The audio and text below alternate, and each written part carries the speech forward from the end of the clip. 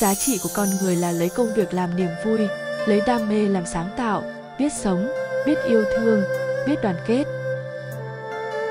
Tuổi ngọ là tuổi của con ngựa, ngựa là con vật yêu thích cuộc sống tự do, hoang dã để được hòa mình vào thiên nhiên.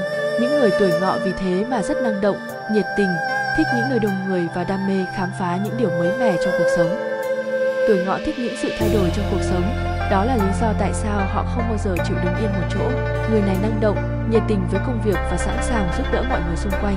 Họ có thể một mình đảm nhận nhiều công việc mà không hề mệt mỏi. Người tuổi ngọ luôn luôn năng động, biết làm ra tiền, thích đi đây đi đó. Tuổi này không thể chịu được các lịch trình, thời gian biểu cứng nhắc cũng như các quy định và quy tắc nhỏ nhặt. Đơn giản là họ không có đủ thời gian hoặc sự kiên nhẫn cho những thứ này. Tuổi ngọ là con giáp du mục đi tới lui từ chỗ này, dự án nọ sang chỗ khác, chương trình khác. Giỏi là biết làm ra tiền, làm ra tiền cốt để thỏa mãn ước vọng ngầm là cũng có chút đỉnh với người ta. Tuy vậy tuổi này vừa lo làm ra tiền mà vẫn giữ được tính độc lập và tự do cho mình. Mặc dù tuổi này không có tính phô trương lắm, nhưng cũng gắng tỏ ra là mình biết, mình khôn, mình giỏi một phần nào đó. Tính thiếu kiên nhẫn này khiến cho tuổi ngựa ít chú tâm đến nhu cầu của người khác. Tuổi này thà nắm chắc tình huống trong tay mình trước chớ không chờ đến kẻ khác tác động đến hoặc cho ý kiến vô.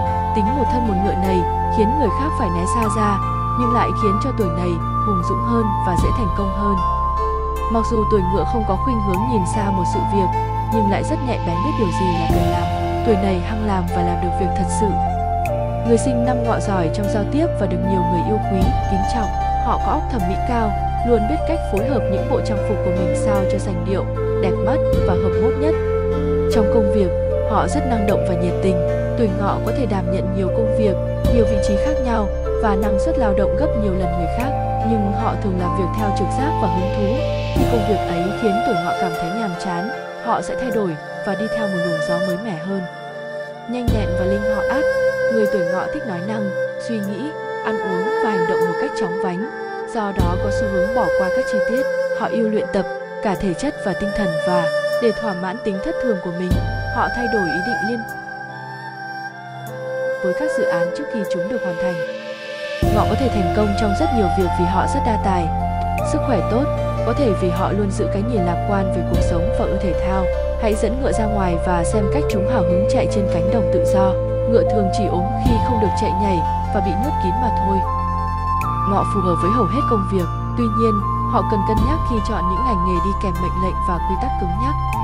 Nhờ giỏi giao tiếp nên tuổi ngọ sẽ thuận lợi trong các công việc cần tiếp xúc với nhiều người, nhu cầu được độc lập và dựa vào chính mình khiến họ thèm muốn quyền lực và phù hợp với các nghề nghiệp trong lĩnh vực thông tin đại chúng. Bất kể là việc gì, dù đơn giản hay phức tạp, tuổi ngọ đều là người đầu tiên hoàn thành nhiệm vụ. Họ rất coi trọng danh dự, chữ tín của bản thân mình. Bởi vậy khi được giao phó bất kỳ trọng trách nào, người này đều cố gắng hết mình để hoàn thành.